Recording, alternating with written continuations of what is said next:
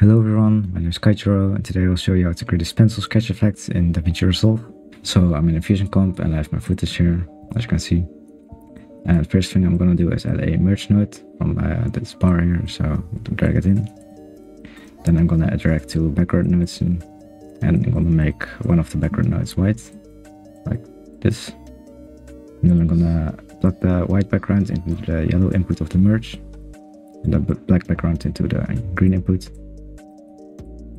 and then I'm gonna add a bitmap node. By shift space and type in bitmap and plug the bitmap into the blue input of the merge. And in the bitmap set the channel to luminance and plug your media into the bitmap. And then if you look at it you can see this is what it's gonna do. So so after the media in I'm gonna add a edge detect type in edge detect. And as you can see, this is like kind of like a pencil thing almost. So now we're just gonna add the imperfections to it. I'm gonna set the smooth to zero, brightness all the way up, and the denoise also to zero. Also make sure it's set to grayscale edges. And after the edge effects, you can add a brightness and contrast node. And you can use these low and high sliders as like a threshold slider so I'm gonna do this maybe and make sure you uh, turn on these checkboxes to prevent clipping. And after that, I'm gonna add a merge node and a fast noise and plug the fast noise into the green input of the merge. And in the merge, set the apply modes to not apply and uh, in the fast noise in the color tab make sure the first color the alpha value all, the way to 1 and in the fast noise you can increase the scale and increase the detail and the contrast a bit.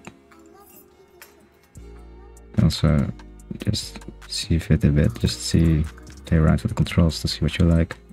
And what we're doing right now is basically uh, adding some imperfections and some as if some parts of the drawing have been erased and after that I'm gonna add another merge node and I'm gonna also set to multiply the apply mode. Then I'm gonna add a background node set it to gradient here.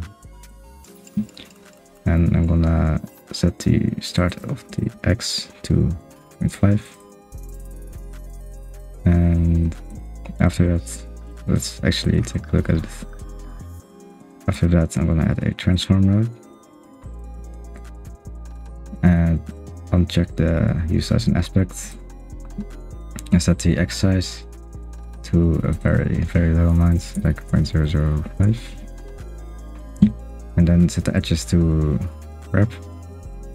And if you plug it into the merge now you can see that uh, you get these lines and I'm gonna also angle it a bit so it looks better.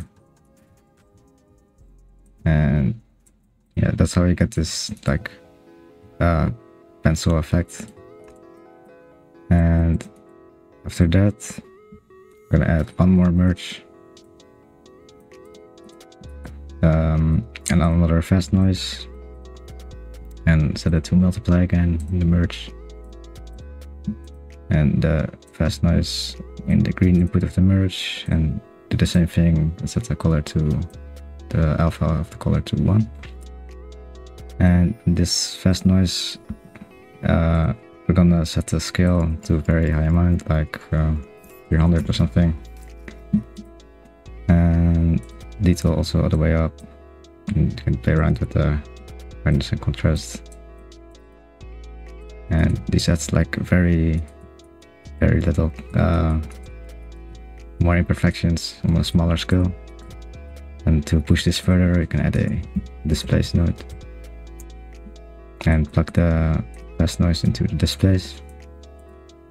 Set the type to X and Y and just slightly shift these uh, the X refraction and the Y refraction just a little bit as you can see, it's kind of hard to tell what's going on. So after that, you're gonna add a uh, brightness contrast node again and increase the gamma so you can see it better.